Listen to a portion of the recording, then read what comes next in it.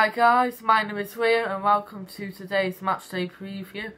Tomorrow Chester play away at Dagenham and Redbridge, so I hope you enjoyed today's video. Please don't forget to leave a like and subscribe. It's becoming a bit of an addiction for me now with all of these long trips, but Dagenham's in Essex in London, so another five hour trip for me tomorrow. Yeah, but yeah, I'm really looking forward to it. So it's going to be a good day out. So far this season, Dagenham and Redbridge have done quite well, but over the past month or so they've lost quite a few games. At the start of the season, they were one of the favourites to get promoted, and they were in the playoffs. But over the past month, as I said before, they haven't been. They've been quite a bit of trouble too.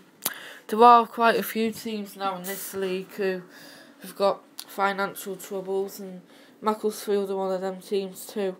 Their owner has pulled out of the club and he's left them with hardly any money, so they've they've struggled quite a lot um lately. They've currently they're eleventh, so they've slipped from like fifth place to eleventh over the last month or two. So they've picked up some poor results lately, and on Tuesday night they lost one 0 away at Dover, which it wasn't a good result for them either. So you know it's quite sad when clubs struggle off the pitch and they're in danger of going out of business. But yesterday they arranged a friendly with the West Ham first team next month, I think, to raise some funds for the club.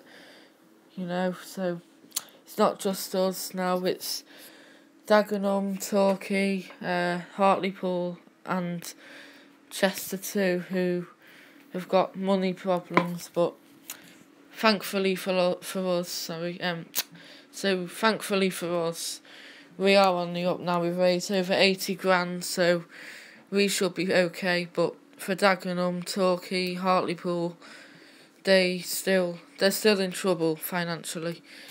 But tomorrow's game it won't be too easy. Um, our current form hasn't been too good either, but our performances have picked up, so hopefully we will win tomorrow, but it's not going to be easy. Dagenham Stadium is called the Chigwell Construction Stadium, or otherwise known as Victoria Road. It holds over 6,000 and it's a nice ground by looking at these photos. Um, you got the big stand behind the goal, which is actually the away end. Tomorrow's game is not so um, it's not unsegregated, it is segregated. So we will have the big stand behind the goal. It's also got the changing rooms and the tunnel, so the teams will come out there. Then the other goal, it's an open terrace, so you know, quite simple. Then to the left of the big stand, you got another seated covered stand. Uh, it's also raised above pitch level, but it looks good.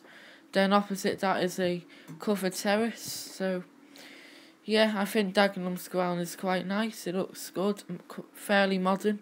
Um, they were in the Football League a couple of years ago, so yeah, it looks good. We will be taking another goods following down to London tomorrow. I would hope in and around the 200 mark, which would be a great amount for that distance.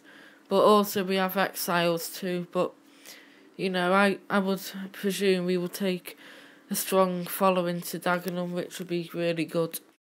Dagenham's current form hasn't been too great. On Saturday, the 20th of January, they lost 2 1 away at Sutton United.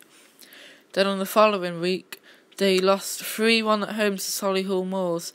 Solihull Moors have been struggling for the whole of the season, so that was a bad result for Dagenham. Then after that, they lost 2 0 at home to Aldershot.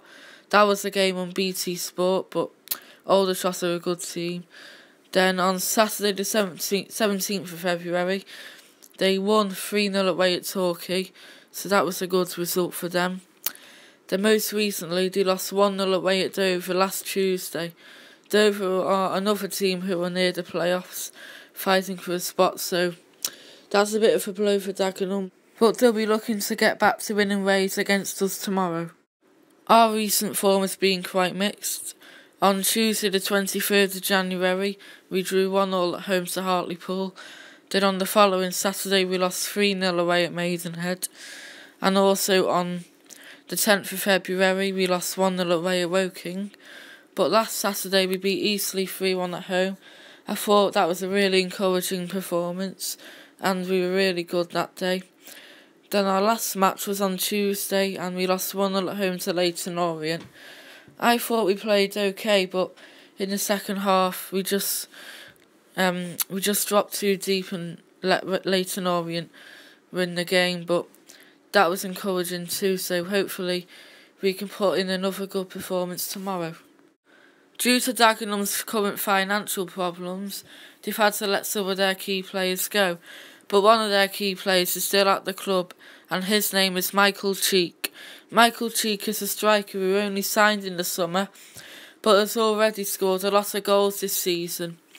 Last season he played for Braintree and he scored 19 goals, but they still got relegated. So he is a good goal scorer, an actual goal scorer, and I've heard that a lot of football league clubs have been after to sign him too. So he's done well this season for Dagenham, and he is their key player in my opinion. So tomorrow our defenders like Ryan Astles, Sean Hobson or whoever plays will have to keep him quiet if we are to have a chance of bringing something back to the Deva Stadium. But Michael Cheek's a natural goal scorer, has um, experience at this level, and he's already scored against us this season. Uh, he scored twice, so um, hopefully he, um, Hopefully he won't score tomorrow. so it will be another early start for me tomorrow morning. I will be leaving around nine-ish, so it'll take about five, six hours to, to get to Dagenham. It should be another good away day out. I'm really looking forward to it. I will upload my highlights of the match after the game. I hope you enjoyed today's video. Please don't forget to leave a like and subscribe.